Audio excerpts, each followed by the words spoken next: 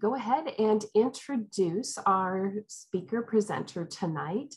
And we have Jimar Garcia and a wonderful anteater from 2003 and got his bachelor's at the Information and Computer Sciences. He is the principal consultant of Hatchwork Solutions, a professional services and consulting company that helps businesses reduce the stress on their operations using technology. He also serves as the vice president of the UCI ICS alumni chapter. So I am excited for you to be here. And is there other ways that you can reduce stress for us besides what you do in, in the professional life? Um, I'm sure you'll you'll let us know today. We'll, we'll uh, we're going to spend the first uh, 10 minutes uh, in pure silence and just, uh, enjoy enjoy enjoy the silence. There you go. well, without further ado, I'm going to go ahead and let you um, take this away and all right, Jimar, thank you. Sounds good. Thank you so much, Wendy. Um, so we've got um, we've got uh, at least with us live, and thank you so much. I know it's like it's like 7 p.m. at least here on the West Coast. If you're on the East Coast, then thank you so much for joining us. Like 10 p.m. is, is super, you know, super late. Um, and uh, like so, I've got I'm, I've got a young family. We're you know we finished dinner and we're you know trying to you know get the kids down to bed, and um, so I, I totally understand how maybe this is uh, maybe the not, not, the most um, uh, convenient time to join like a webinar, but hopefully I can add value and sort of create uh, create some value for you and take something away that'll help you at least um, uh, with what we you know what we're calling career wellness, or at least um, uh, uh, that's sort of the the topic that we're that we're talking about today. Um, show of hands, and maybe I think there's a uh, reactions, there might be like a, if you use the, the reactions panel to sort of raise your hand, how many of you feel like that you have like less time in general to get work done?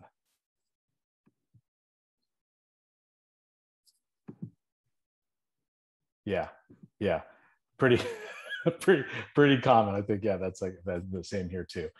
How many of you now, um, second question, how many of you feel like actual stress that your current job is going to change significantly or even go away within within the next couple of years maybe not as much which is which is probably probably good and, and even um, even if you do feel that way uh, i wouldn't i wouldn't be surprised i actually just saw an article posted on cnbc today that i actually shared on linkedin that um, about um, that article about the top three jobs that are going away, or that you know the um, I think it was the the Bureau of Labor Statistics um, project that are going away within the next ten years. Sort of my comment on that was that you know upskilling, and we, we're going to talk a little bit about sort of how to in, in, improve some of your skill set. But uh, in my job, upskilling is an area of focus that um, uh, that we talk about. Unfortunately, we don't see a lot of traction. Um, one thing that I find is that we're in, we're so much in our like our routines and our grooves that we we don't find the time to really break out and try something new. So hopefully today um, we can take a little bit of time to kind of break out of those routines and and and create some new neural pathways introducing myself, or at least uh, just to give you a little bit of background on me, uh, Wendy uh, introduced, thanks for introducing me there. Um, graduated in 2003 uh, with, uh, uh, from the School of ICS. I've been in industry for about 21 years. Um, if you're doing the math, um, it doesn't quite work out. I actually was an intern, I think the summer after my sophomore year for a software company here in Irvine. Uh, so I've been kind of uh, working in software, working in in sort of process automation and um, uh, uh, uh, capture for since I was like 18. So I've been I've been kind of uh, in the space for quite a while. Um, I've been self-employed for about eight years. Um, so after working for the software company um, for about 12 years, I, I went off and worked for a startup, uh, kind of the thing that every young uh, technologist does, and and with the hopes of of being a, an internet billionaire. and I lasted for about nine months. so it wasn't uh, it wasn't quite in the cards for me as far as uh, uh, doing the whole startup thing, but um, I've started my own company and do consulting for companies to help them with their business processes, um, making sure that they can uh, automate uh, sort of processes that are you know paper based and slow, and then try to help um, uh, uh, take people who are doing those man you know doing those manual tasks and put them into higher value tasks. Um, I do also uh, volunteer quite a bit, um, as uh, as Wendy noted. Um, I'm uh, part of the um, uh, the alumni chapter board for ICS, and so after this, if you're interested in in um, uh, uh, learning more about the chapter, I have my email at the end slide, and feel free to to send me a note. by the way, um, feel free um, since it's uh, a, a, pretty intimate group. Feel free to jump in and come off mute if you have any questions, um, want to make a comment kind of as we go along. Uh, I have no problems with that. So um, just, you know, feel free to uh, do that or type in chat if you have any questions. Um, Wendy, you can go ahead and stop me or interrupt me if you have anything that, that I should probably answer um, in context. So um, when um, I, I went to meditate on on the like the the topic of career wellness, um, the first thing that I thought about was okay, so you know wellness uh, and and how do I um, kind of define wellness in a sort of holistic sense. Um, I really wanted to focus on just like productivity and kind of you know well you, know, use technology to be, be productive at work. But I really thought that was kind of shortchanging the conversation. And I really thought about not necessarily focusing on like output from a pro- productivity perspective, but really thinking about meaning that I'm that I'm actually working on something that's meaningful, uh, not necessarily my day-to-day just job as it's defined, but bigger picture, where do I want to go in my career? And so hopefully we'll be able to touch on those things.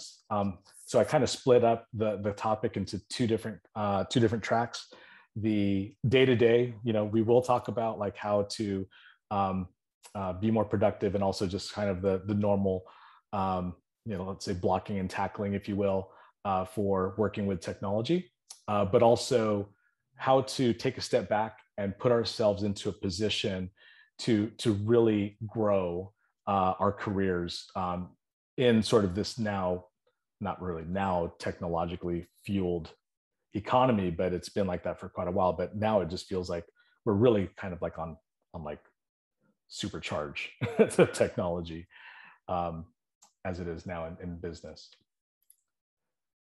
Um, I kind of feel like when I think about the promise, the promise of technology and the promise of, of, of the let's let's let's kind of touch on the the personal computer. So Steve Jobs um, I believe it was Steve Jobs that that noted that um, when he thought about the personal computer, he thought of it as a bicycle for the mind. And so, not necessarily just from a pure productivity perspective, but just from a human creativity and human achievement perspective. And so, um, I feel like that we've done a good job in the consumer space, sort of in that same vein.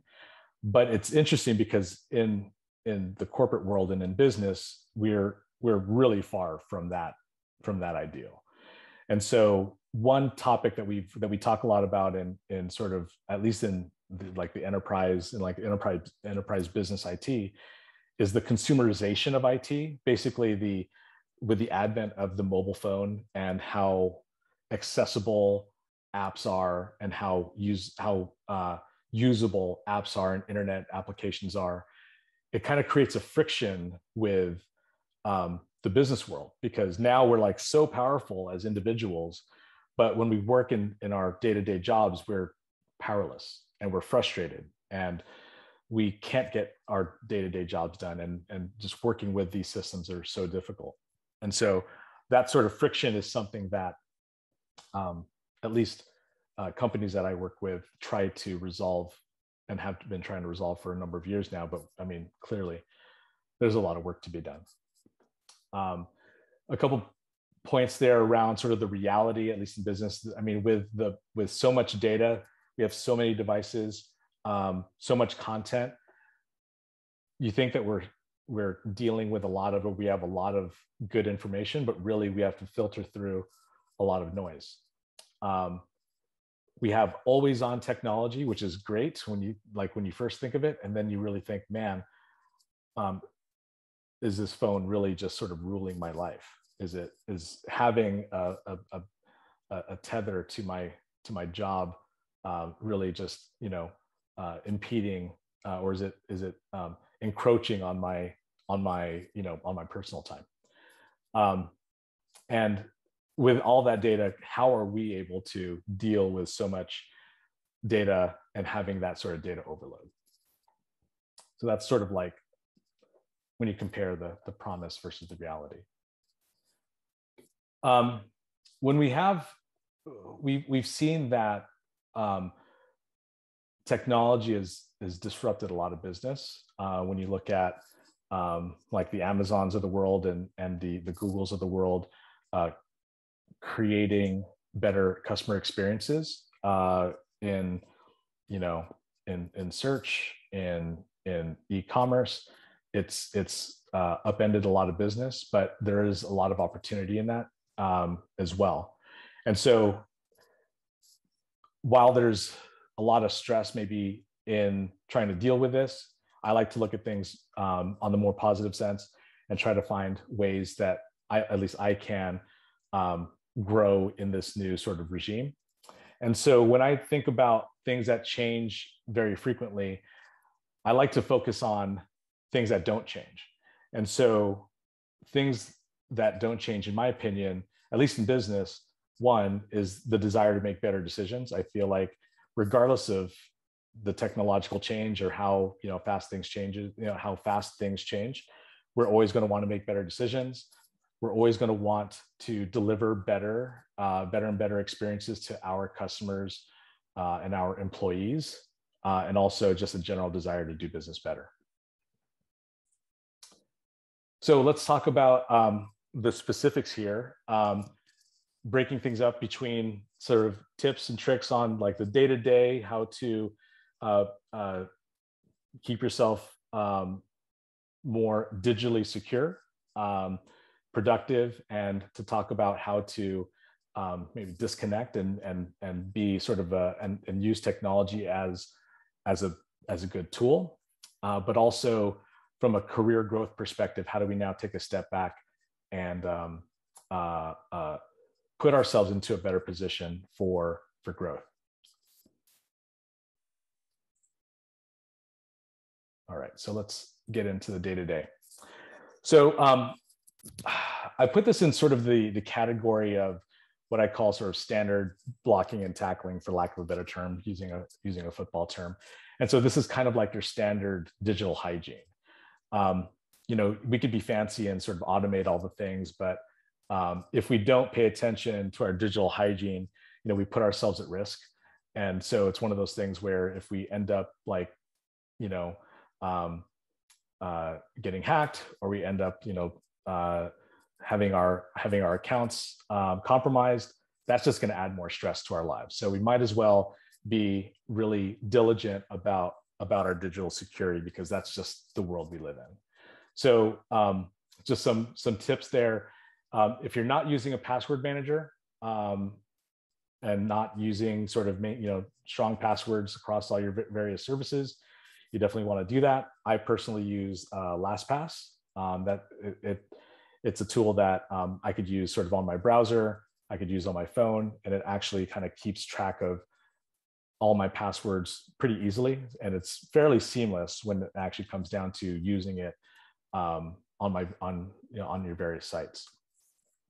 Um, if you've uh, if you're not familiar with multi-factor authentication, um, you definitely want to get familiar with that. Basically, what that is is it is um, a way for uh, systems to authenticate you in more ways than just your password. So, for example, um, uh, sort of the first uh, first way that um, multi-factor authentication was implemented was using like basically text messages to send you sort of a code once you log in now it's a little bit more um, uh, they've got more options there so that you can use like um, an app on your phone to basically enter in like a secondary value for when you log in. Uh, beware of phishing attempts. So this email that i'm showing a screenshot actually i received um, a couple days ago and it was actually a really good phishing attempt. So um, if you're not familiar with phishing basically what it is is it's it, typically it's emails that you get that pretend like something's wrong with your account or something and they try to get you to click a link. And so what's crazy is that this is so namecheap is um, the domain registrar that i use for uh, for hatchwork solutions from business. And it was you know like they have the logo and it says namecheap support if you see the the the um, the sender and it sounds pretty important. I'm like, oh man, I don't want my hosting plan to get canceled. I should update update my payment details now. And everything about it, unless you really slow down and think, okay, so if you look at the email address that it's actually from, it's not from Namecheap, it's from Anna uh, AnnArborSoccer.com. So you know that that's not right. Um, if you look at some of the you know the words or the sentences on the on the email, it's it's not um, like the second like to avoid canceling the the um, the two the two is not capitalized and it's like on a different line there. So a lot, surprisingly, a lot of phishing attempts have really bad grammar. and they have a lot of bad um, um, punctuation and things like that. So um, that should be a clue. That should be a really big clue so that you should, when you look at something like this, try to slow down and not just click the link, right? Because that that was my sort of initial response. Okay, update now. I want to. That's what I'm going to do. And so it really it really uh, behooves you to kind of slow down and, and kind of um, really take it in and don't um, if there's if you have any doubt don't click on the email itself but go to your account on the website directly and then see if you can find the same information. So that's just kind of a big tip there. Um, last item use vpn when using public wi-fi. Um, so if you are at starbucks or i mean uh, or at the airport um, you want to be very careful about accessing sensitive sensitive websites where you're putting in your your um, you know your passwords because um, you know if those uh, those Wi-Fi hotspots are are compromised, then there's there's a chance that you can some you know you can send your password um, in clear text to someone who's um, sniffing the network. So contact me if you have any questions around like specific, um, you know, services if if if you can you can't find one on the open market. But that's I whenever I go on public Wi-Fi or even at like uh, to a hotel, I'm I'm usually one not accessing anything sensitive, or two I'll, I'll be on my VPN if if needed. Any any questions about any of that? I know it's pretty technical. Hi. Um, what was the name of the password manager that you mentioned? I use LastPass, L A S T P A S S. Thank you. And that's something that you just um, download or upload on yeah, your so, PC? Yeah, so um, it's uh, there's a um, um, uh, it, it's like it'll download like a um, like a browser plugin, but you can also download an app that will it'll keep it'll keep track of your different accounts um, in its in its cloud. It encrypts it, um, and only you have the key. So you should be able to um, like only you'll be able to open it. Um, that that kind of brings me to a little bit of um, maybe I won't touch on it, but, but there's there there's sort of a class of applications that are called like no uh, no trust or zero trust um, applications that basically you own like the encryption keys or you keep the encryption keys. So even the company that is hosting whatever service, they won't even know how to decrypt your your information. So um, yeah, it's it's it, it'll be able to follow you to your different devices, so it's super convenient. But only you should be able to access um, access the uh, the passwords. Thank you. And can I ask one more follow up question? Yeah. Um, I'm sorry, I'm trying to make my daughter dinner, so I'm like no worries. Full of no stuff. Worries. Um, I I get emails all the time from Google or whoever it is on my computer that keeps warning me that I should, you know, if I have the same password for multiple accounts, is there? Can you talk a little bit about having using the same password for mm-hmm. multiple things? Yeah. Good, yeah, no, for sure. And so um, the the risk there. So let's say um, uh, let's say I use the same password for Facebook and my bank, which would probably not be a good idea. Um, if I use the same email address and somehow my password gets um, compromised, meaning someone knows my password in clear text, what happens, and this is kind of a, a, a kind of a gross thing to think about, but there are sort of underbellies of the internet that will have people's email addresses and their passwords, like from compromised sources. And so if you have the same password across different services, um, bad actors, hackers can go and say, okay, well, let me try this account, right? Like uh, this account and password. It's easy for them to do it in bulk because they could just write a script that kind of does it. So it's good to have different passwords for different accounts. So in case you even get your password compromised on one service, they won't be able to use that same information to compromise you on another service. Does that make sense?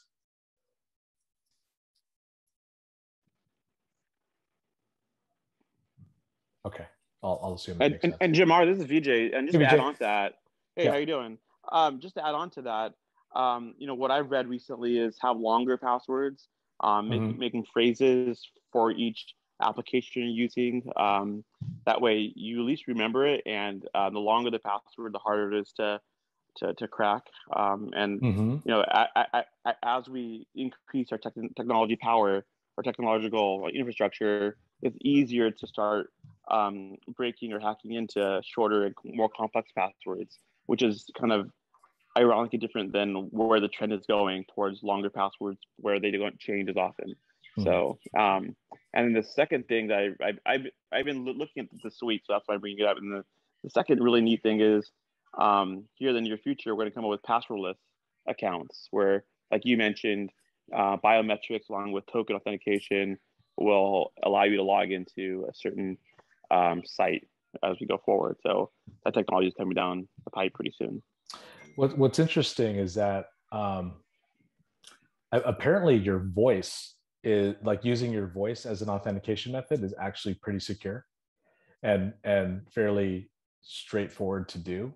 And so I know I've been working with um, some um, some companies where the, in, in, addition to setting up a password, you set up a, a voice password.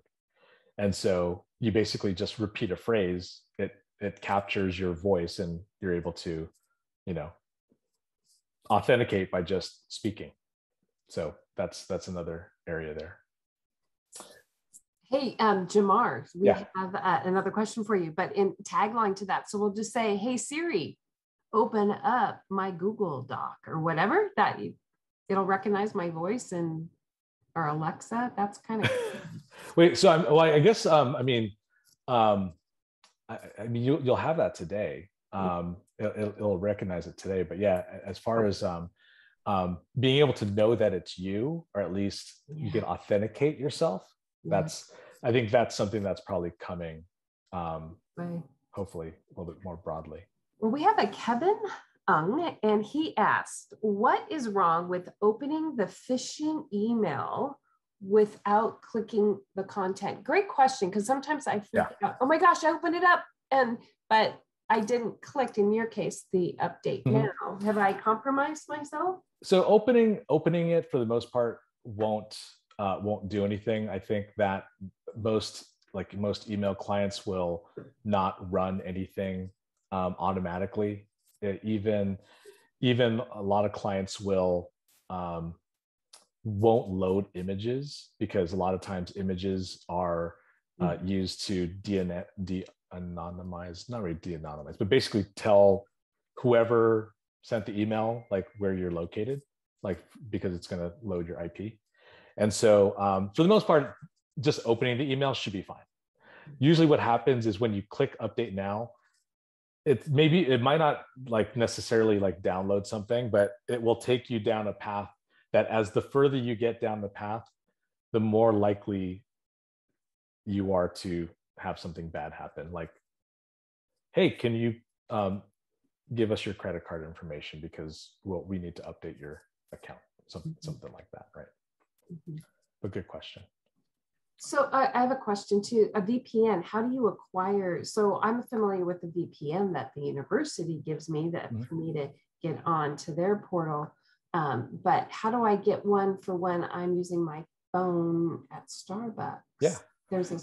So there, there are, uh, yeah, there's so there are a bunch of services out there um, that um, you you download an app and then um, it will basically create a VPN for for your phone or for your computer.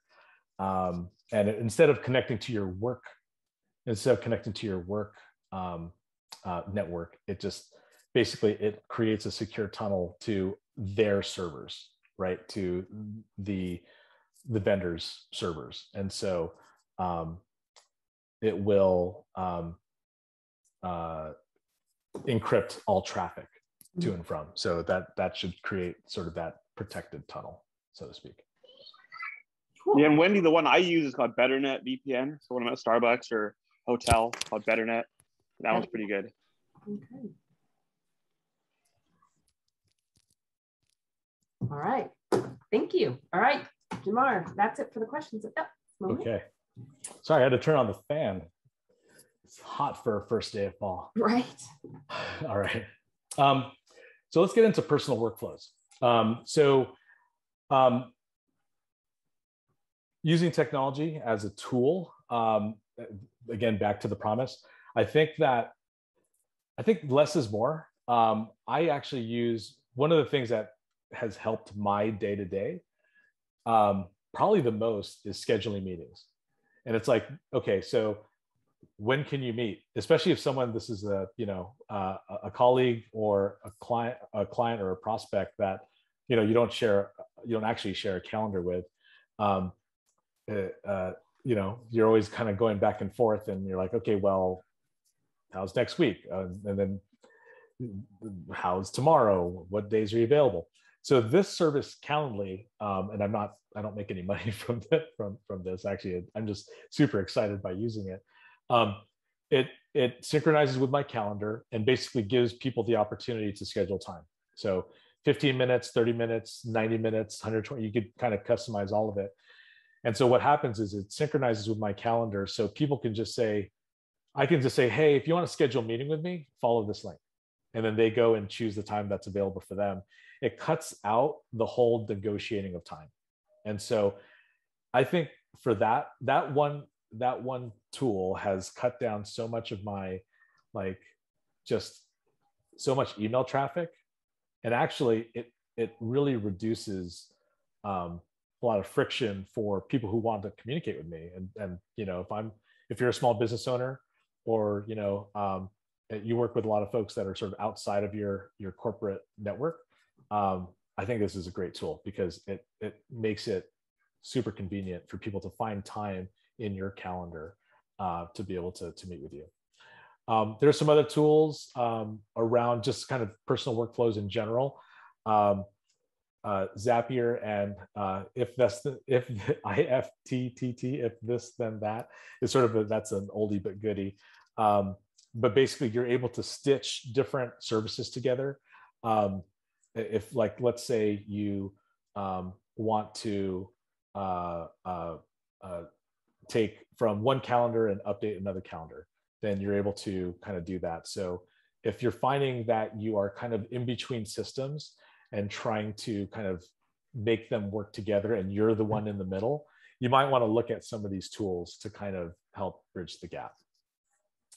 Um, something that's kind of been popularized in sort of the business space that is it's interesting because they it, they uh, a lot of businesses position it as tools for sort of individuals to use um, or like software robots. So um, if you've heard the term robotic process automation, it's uh, it's it's a tool that lets you automate things on your desktop. And so let's say you work a lot in Excel and you want to be able to manipulate and you're not, you know, um, let's say you're um, moving data between different Excel files and, and, you're not using like formulas, you're actually able to use different tools uh, or like you're able to train a robot to do different steps that you would normally do um, hmm. on your computer. And so um, it does take a little bit of training. There's a, a little bit of a learning curve, but um, this is sort of a low code way to be able to do automation so that if you do have some tasks in your day-to-day job that are just repetitive this lets you kind of this lets you automate those things.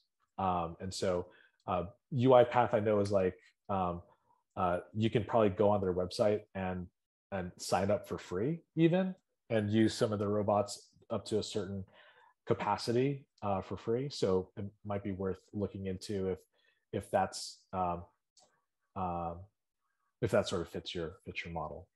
Um, there are some other low code application platforms um, like um, Power Apps for Microsoft, AppSheet I think for Google, and Honeycode is a new one for um, for um, Amazon and uh, for Amazon AWS. And what's interesting is that like, and this is where there's a little bit of bleed over from like like corporate sort of business IT and really trying to create tools for individuals in their sort of like day-to-day jobs as knowledge workers. These probably wouldn't be bad tools to learn um, if you um, uh, uh, are in a job that um, uses let's say like microsoft and you might want to learn like power apps and you can go on their website and kind of learn it for free. Um, because where we're where i'm starting to see a lot of trending is for people that understand business to be able to create apps and be able to create sort of business tools as opposed to developers creating business tools. So as far as like a long-term opportunity as well to to sort of understand how to maybe use your current experience to um, um, to position yourself in the future looking at some low code uh, platforms uh, might be um, might be useful Any questions with that? I think we're good. Okay. Um, the last bullet on sort of day to day is sort of how do I now not use technology? I think it's one of those things that like um, I, I personally am on the screen like uh, probably 14 hours a day. It's it's actually quite bad. Whenever I can, I like to disconnect um, it gives me an opportunity to to recharge, uh, be more creative, and even when um, um, you know I'm going out for a walk, I find time. Sometimes I like, okay, well, how do I do I listen to an audiobook now, or do I go listen to a podcast? And really, I find that recharging and being completely disconnected. I mean, there's so much it's so luxurious in a way and it's kind of sad to say it but it is kind of a luxury to be able to disconnect from all the technology that we have. And so, just some tips. Um, uh, what's worked for me? Um, I meditate. I like to to actually. Ironically, I use an app to meditate. It's, it's kind of like the funniest thing, but I use I use Headspace to meditate. Um, I turn off notifications whenever I can. Um, I actually I've tried this and it works. I I've it's funny because um, I, I kind of tricked my I tricked my daughter with this before. I, I turned my screen grayscale. If you don't know how to do it, it's um, look it up online and you can find um, instructions on how to do it. Basically, what we're doing when we when we make our screen grayscales, we make it less attractive. It actually like will will um, um, uh, produce less um, uh, uh, what is it? Um, not endorphins. What is it? Um, dopamine. When you when you look at your phone, and so it actually becomes less addicting. You're able to kind of like, oh well, maybe I won't scroll Instagram for 30 minutes straight um, because the pictures are black and white. So might be uh, might be worth um, kind of using that if you're trying to sort of um, wean yourself off of off of your phone. Um, single tasking. Um, I love. I, sometimes I I just love doing doing the laundry and folding clothes. Don't even put the TV on and just fold clothes and just really focus on really focus on that task and just sort of stay st- single single threaded. Um, reading a physical physical book or uh, my favorite, as you can see, I'm I'm here running running without music. I actually uh, ran I've run one marathon in my in my life, and it was the the Napa Marathon, and it was a it was a no headphone course, and I thought I was gonna die. Right, like how am I gonna run a full marathon with no music? But it was one of those things that like I had to train for it, and actually really appreciated not having anything to listen to except for sort of nature and cars honking uh, while while on a run. So those are the day-to-day ways to sort of um, get uh, get the most out of technology or even disconnect from technology. Let's talk a little bit about career growth. I think um, when we look at trend lines as far as careers that are growing, um, probably one of the more accessible uh, careers um, is around data science and statistics. Um, if you can try to become as data oriented as possible um, when it comes to decision making and artificial intelligence machine learning things that fuel those algorithms it's all about data and so if you can become oriented and understand how to measure uh, how to know what's important in your business in your industry and um, uh, become uh, uh, proficient in in statistics and data science there's actually um, uh, a lot of courses that are fairly, maybe even free, uh, free and, and sort of uh, fairly inexpensive courses to, to learn about data science. And if you can get into the coding piece, um, learn with like Python, then you really you're really putting yourself into a good position for sort of like next next gen or even like current gen jobs. Um, but demand for for st- uh, statisticians and data science uh, data scientists are going to increase, uh, at least according to the Euro, the Bureau of Labor Statistics. Um, and let's see, was there any? I think that was that's what I wanted to cover there on that topic.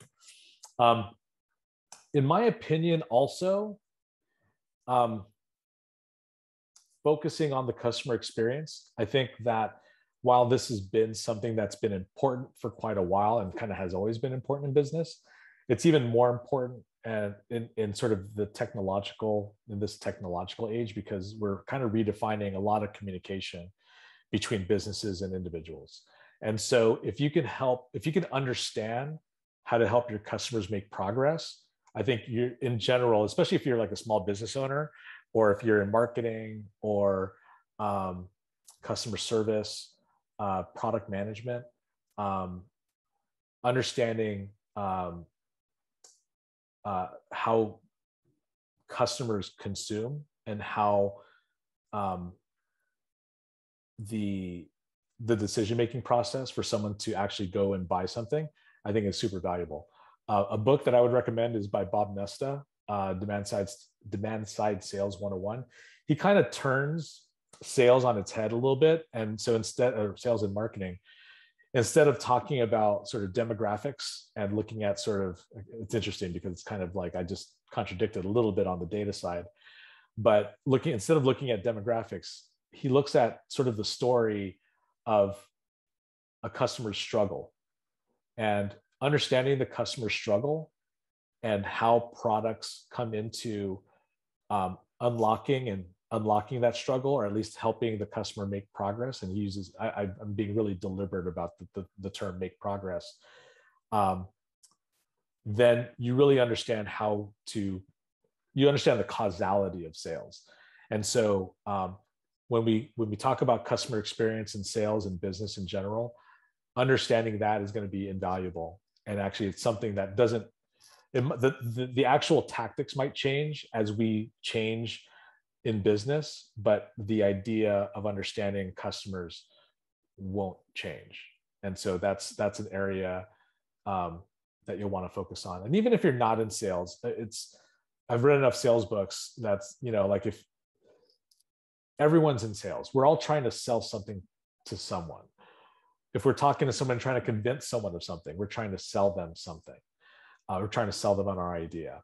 If you're a volunteer and you're trying to recruit uh, for the alumni board VJ um, then then you know you're you're selling something you're selling um, you're selling the organization. So um, i think it's sales is an area that uh, we should all um, spend some time uh, getting to know um, and lastly, um, find your role. So, um, real quick, can can anyone does anyone know what this is?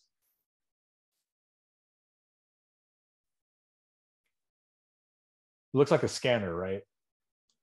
But it looks like kind of a weird, wonky scanner. It's actually a cake. So this is this is this is one of my my one of my favorite photos. This actually was was um, this cake was baked by an old colleague of mine uh, who worked in tech support. Um, and it was probably one of the best scanner cakes I've ever seen, probably the only scanner cakes I've ever, I've ever seen.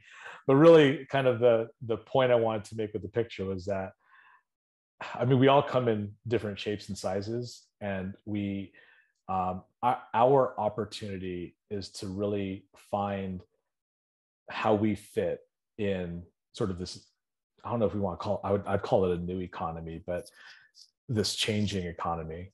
Um, that's kind of a lot of why I talk about like the productivity on the like the first half, because I feel like the productivity, not so much like I you know we need to like con- continually produce, but we're able to now take time for ourselves to really understand what we want to do with our careers at least that's how I feel about it. Um, and so, in my opinion, to work in sort of this sort of technolo- technology field economy, we don't all have to be developers, right? Um, I happen to be a software developer, but um, I find that there are a lot of people that understand business, understand people, and understand how to create a customer, understand how different pieces of a business interact that can find themselves uh, uh, roles in uh, uh, sort of new business models. And so, um, or come on with points there. Um, so that whole the whole topic on business analysts is actually super interesting because, uh, and VJ and I were kind of talking about this kind of previously. Um, finding someone who understands business but also understands how to communicate something to developers is actually one of the rarest things in business surprisingly. Um, we you know always try to think about do we find someone who's technical and teach them how teach them about business? Or do we find someone who knows about business uh, and teach them how to be technical? And so the closer you get to bridging that gap as a person the more valuable or the more marketable um, you will be. So um, I wouldn't just completely say, you know, I'm business or I'm technical. I would try to find sort of sort of blend yourself into those opportunities uh, and use your use your use your experience, use your talent set, use your skill set to basically create opportunities for yourself. And I, I've I, I really believe that um, there's so much opportunity to find different niches in um, in sort of this changing economy. Um, some different, some non-technical roles I note there. So product management, um, product marketing, business analysts, like I talked about, technical writing, and then someone who understands the business process itself. A lot of times businesses don't really document the steps that are needed in order to produce an output. And so if you understand the business and you understand how to optimize those processes, you're going to be super, you know, valuable to the business and super marketable to the business. So um, um, find those opportunities. Um, we're almost to the end here. Um, sort of in closing, just one big sort of macro picture. Um, I, I truly, truly believe this. If you if you work hard to deliver value to others, then regardless of what you do, um, you're going to build a successful career. And I think that um, a successful and rewarding career, and and that's how, um, and that's a big reason why at least I volunteer for uh, uh, for the ICS alumni board because I feel like that um, I've I've been fortunate to to be able to um, do well in in industry, understand the business side, understand the technical side, and to be able to um, uh, create value for others. So I, I feel fortunate and feel at least I feel the need to give back. Um,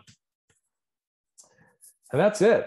Um, my email's right there. Feel free to contact me um, if you have any questions.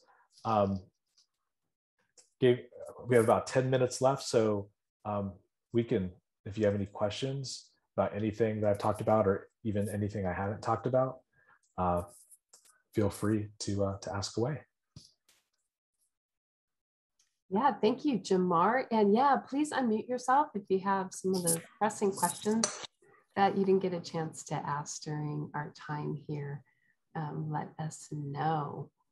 Um, super helpful, Jimar. I think, you know, one thing too that I also find is um, just it, so many different platforms, and people are now going um, to Google Docs and mm-hmm. using Google Docs all the time, and then trying to figure out, okay, that person shared sent me that um, link to that Google Doc, but now I have to go back into that email to go find, you know, and just having to set up a whole infrastructure um, to be able to find those. Um, it's it's it seems like we're constantly bombarded, and so I love love the fact that and didn't Google aren't they even offering some free classes that you can take at Google that will help you help your career? And I'm not. I'm actually uh, I I'd not heard that, but I'm I'm not surprised. I'm definitely not surprised. Um, but yeah, I think that one thing that I'm finding is that at least the the, the large software companies are um, trying to create as many resources as they can for individual users. And so, yeah, I mean, things are out there. Uh, my, I guess my piece of advice is that, I mean, less is more. I always feel like, and and um, the more I guess you can remove, probably the better. Um, so if you can eliminate things, eliminate complexities, it's almost better than, you know, than trying to add something to make things better or make things automated or faster. So I think that when we look at technology, the, the biggest, the biggest and most meaningful technologies are technologies that are invisible, in my opinion. And so if we can get to that point where we're actually removing things then rather than adding things, then I think we'll be in better shape. Mm-hmm. Yeah. Don't don't make it too complicated. Keep it keep it simple. keep it simple. There you go. The, um, and then uh, on that same topic, um, I go just daily, but I, I, love to learn, and so I think podcasts are also a good avenue to um, just understand what other people are going through, or if there's um, new technologies out there that help you with your career. I think that's always something that someone should aspire to to listen to on an ongoing basis, and just keeps you up with the trends. So um, I know I know Jimar, I know I actually love music when I run. So I actually I listened to podcasts recently and just catch up on some of the new yeah. trends and see how that you know works with my career and um, and share my knowledge with others. It's, it's, it's helpful. Very cool. Very cool. We should also note that um, the first Friday of every month, ICS does a lunch and learn for their ICS alumni. But I found that some of your topics aren't specifically um, geared towards um, ICS alumni that um, it, the general layperson can really benefit from that. So um, if you all are interested in that, that's it's right. The first third, the first Friday of every month, right? Yeah, that's coming up. I think we'll we're probably going to start promoting our next one here soon. At least hopefully we'll get that out here. But yeah, that's right. Uh, we're we're coming back from sort of a summer uh, mm-hmm. summer break, but yeah, I think we'll be um, back on there soon. All right. Any other um, questions? Oh, good. Hi, just first, I, I wanted to say thank you so so much. Sorry, yelling from the other room, but um, I just had one question. You had talked about calendars a little bit, and um, I wanted to know if there's like, if I wanted to create like a family calendar, but not include all of my work stuff. Um, I use Outlook for work, and I guess we all use Google. Um, kids, you know, yeah. Is, is there one you recommend so I don't mix too much? yeah, no, that's a great question. So I think Calendly actually does support multiple calendars. So you you should be able to link. Um, now you might need to, depending on depending on your your company, they might need to approve mm-hmm. um, the synchronization of, of your calendar. So there might be some uh, some friction there. So hopefully, if you can get that going, then um, you should be able to like do you know put your family calendar that's on Google, add that you know um, add your work calendar so that yeah, if anyone tries to book, it'll kind of find the open spot. We got a good question. Thanks. No problem. Yeah, I use I use Apple uh, the Apple calendars from for my family calendar, and uh, so far it works fairly well. Um, but yeah, I like to I like to block block lots of lots of time in my calendar so no one can book meetings with me.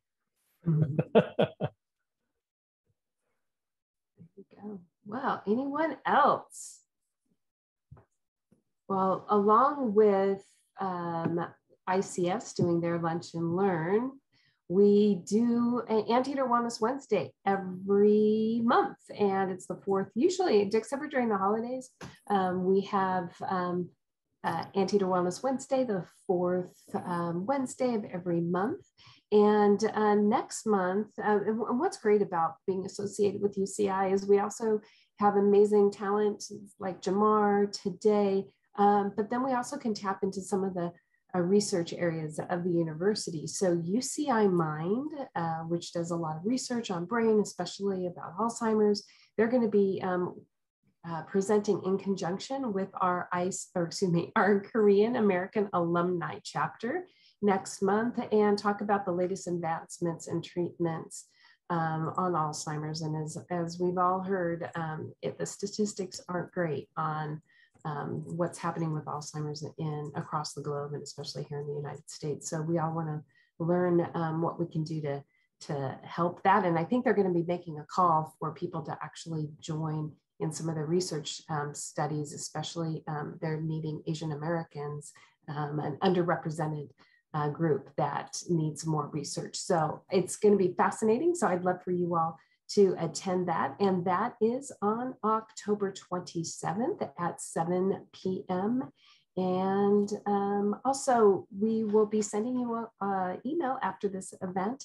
And we'd love to have you fill out a survey if you have any ideas how to improve our presentation or have other um, topics. In fact, I see Brenda Ward here. She uh, was she did a great topic on uh, orchids and how to nurture orchids and have successful orchids. So Anteater Wellness Wednesday Wellness is the, the whole broad um, aspect of how to bring joy and wellness in, into your life. So Brenda, it's good to see you here and thank you for being here. And so fill out the survey if you have any other ideas. And then also, we'll also have a listing of all of our, we just have 40 chapters that uh, across the globe. And uh, click one of the boxes there if you're interested in learning more about one of our chapters and our leaders would love to, to reach out to you and let you know what's going on, how you can become more engaged at here at UCI. So thank you so much. And any other questions? I think that's it. So I'm going to close out our September Anteater Wellness of 2021. So thank you all for being here and let's all together, let's do a Zot. And for those of you don't remember, oh, I'm having problems with my virtual screen. I'm going to do it here this way. So remember, with your anteater, you can't do this, which is kind of like, you know, the, the University of Texas Longhorns, right? You got to pull the snout back, pull your thumb all the way back behind, and that makes you um, an anteater with the snout there. So on the count of three, we're all going to do a three Zots, okay? One, two, three. Zot. Zot, Zot, Zot. Woo! You got it, Jimar. Thank you so much, everyone. All right. Have a great night. Thanks, everyone. Good night.